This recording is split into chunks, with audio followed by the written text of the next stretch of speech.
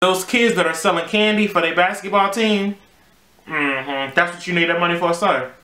Hey guys, what's up? JT here, and it's time for another video.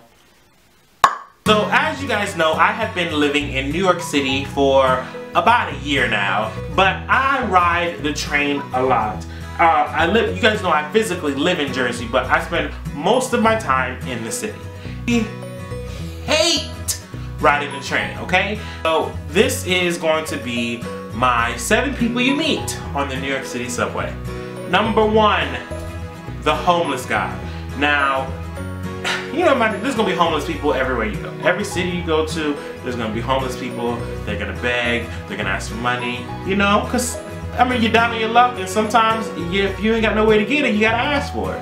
And I'm not knocking, you know, asking for money. What I'm knocking is panhandling. Now, these homeless guys that are on the train though, they, I mean, I don't know, it's a struggle. I know that it's a struggle, but they be on, they will clear out an entire car smelling like old, old feet in an outhouse. Just clear out an entire subway car pushing a cart full of bullshit.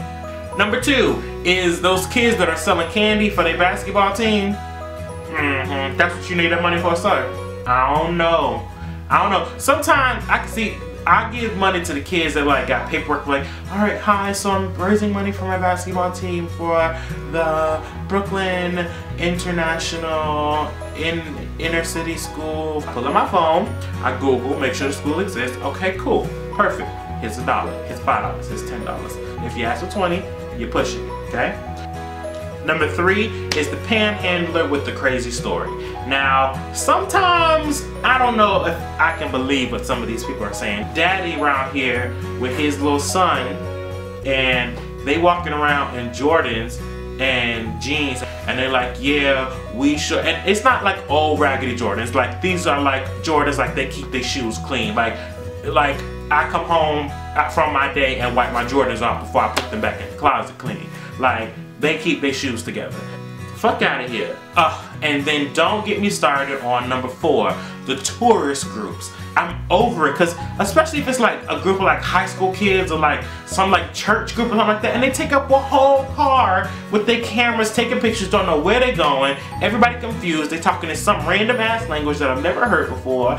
Number five, you got that Chinese lady now, she's selling CDs and DVDs. See, if you go to the hood in the South, it's a black hustler in a barbershop selling CDs and DVDs. But if you come up north, it's a Chinese lady on the train selling CDs and DVDs.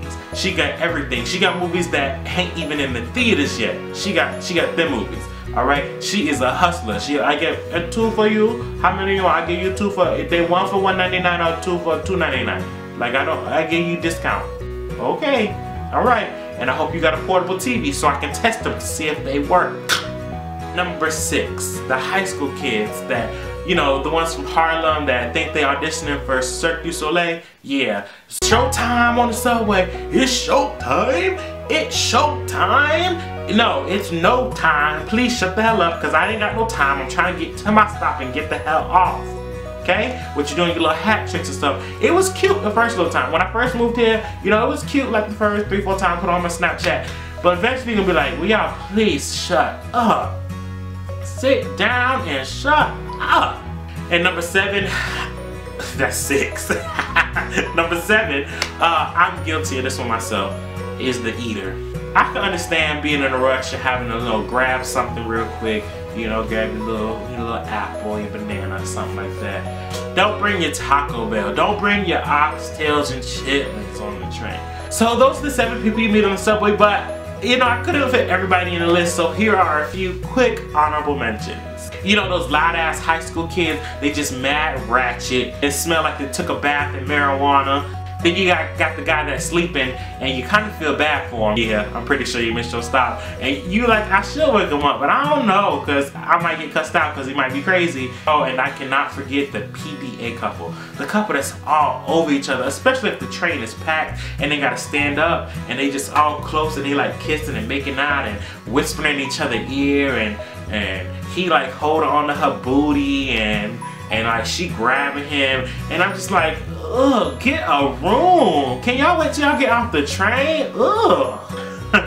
so those are the people you meet on the New York City subway. Give this video a big thumbs up if you ever have seen any of these people or if these people exist in your city. And in the comments below, tell me if I forgot any. I might have forgot some. So make sure you guys follow me on social media. That's Instagram, Snapchat, and Twitter at JaiKadence. And you can also follow and like my Facebook fan page, Jordan JT Tranberg. If you guys want to see other cool stuff from me, including some more 7 People You Meet videos, then you guys can click the little eye right up here. Please make sure you share this video, make sure you share it with all your friends so you can give them a good laugh too. And if you haven't subscribed to me, please, please subscribe so I can keep bringing the funny and you guys can keep having a great time watching my videos. And if you guys want to see my most recent video or see some other cool stuff from me, then you guys can click on the blue screen. And remember, a thumbs up means you like me and a subscribe means you love me. And I love you too. And I'll see you guys next time.